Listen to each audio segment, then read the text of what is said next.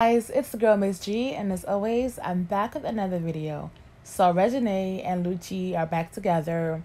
Are you surprised? I'm not surprised. Like honestly, I wish females out there would have more self-respect and worth because y'all deserve way, way much better. Like I don't understand females. Like guys will disrespect you in front of the whole world, and you will still take them back after you have people going off to this dude about you, and you went back to this dude. So at this point I'm gonna need everybody to mind their business, including myself, because it's like you want the best for people, but if somebody don't want the best for themselves, like what's the point? Like at this point, just listen to them and nod your head and say okay, okay, okay, and let them continue doing them. And when shit hit the fan, all you can do is be there and be that shoulder that they need to cry on.